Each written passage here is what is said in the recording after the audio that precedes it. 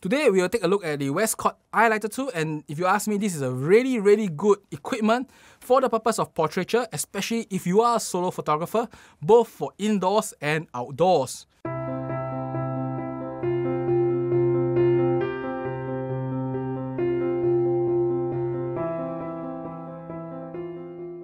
I'm Richard and welcome to ZP Production and today we will take a look at the Westcott Eyelighter 2. Now this is a product I own for a few years now and you can see from this video it is a relatively big reflector. I think it's about 1 meter plus in width and about 50-60 cm in depth. So it is a, quite a big piece of reflector if you ask me. Now if you go online and search for this product, this is a very famous product for the purpose of indoor portraiture, half body and headshot. It is fantastic. That's the reason why it's called Eyelighter 2 because its purpose is really to light the face and light the eyes and give a very nice catch light. And if you look at this photo here with Ria that I used this particular reflector to shoot, you really can see that effect of a very nice fill light around the person's face that wraps around, plus a very nice catch light in the person's eye, and the eyes are really, really glowy and really, really strongly lit. Eyelighter 2 is really meant to light the eyes, the face, and the upper half of the body itself. But today I'm not going to focus on uh, you know indoors because outdoors is really where this thing is even more impressive. You ask me. Now, if you go out and do outdoor portrait shoots, you should know that you either need a reflector or some sort of fill light. If not, the sun will give you really weird and ugly shadows. So the Eyelighter 2 does it really well without the need of a helper because the eyelighter 2 can be tilted and rotated in any way that you need it to be and you can put it on a really short stand. As long as you are shooting 3 quarter body, half body or headshot, you have no problem using the eyelighter alone and obtaining the effect you want. Now if you're going to shoot full body however, I will not recommend this product because you can only reflect probably the person's face, light on the person's face and that's about it.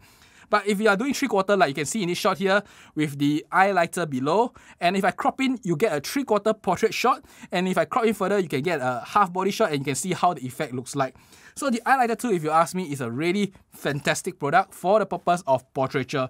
And really, if you are a solo portraiture photographer especially, I highly recommend you this because you can work alone with your subject. You just need to set it up. Now, setting this up is, uh, if you ask me, one of the more tedious one. This one requires about 5 to 10 minutes setup if you're experienced. As you can see me fast forwarding this setup here, it takes some time to set this up, definitely. But once set up, it is quite stable. And if you are facing some sort of wind outdoor, just need to put your camera back onto your nano stand or what to hold the stand down and then you can put the uh, eyelighter on top. Now, uh, if you ask me, this eyelighter 2 requires you to have a very, very short good stand. So try to get something like a nano stand that is really small or a carbon fiber stand that I got from Phottix. It's also really short so that you can actually mount the eyelighter 2 on it. If you mount a stand that is too high, what happens is that you can only do half body and that is not really what you want. Sometimes you may want to shoot three quarter body. The eyelighter 2 still pretty much works out really well for that. And that's about it for today's review. I just want to share the Westcott Eyelighter 2 and uh, this is a product I own for two years now. And if you ask me, this is very expensive in the past, 500 Sing dollars, but today it's only 200 USD or about 300 Sing dollars. And you can also get China versions of it or replicate versions of this Eyelighter 2 from like Neewer and stuff. And they look very similar. Maybe their build quality is not good, but they look really similar and probably can achieve the same effect. But they are not much cheaper. I mean, they are 60% or 70% of the Westcott price. I think about 200 Sing dollars as you can see in these photos here. So really, I think this is a product that I highly recommend if you are a portrait photographer, both indoors and outdoor. And I think you won't be disappointed by the very nice catch light effect that you can get on your subject with this reflector here. And that's about it for today. I hope you enjoy this short little review.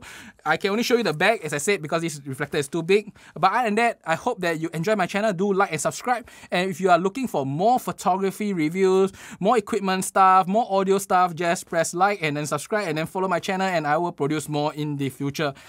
Till then, bye bye.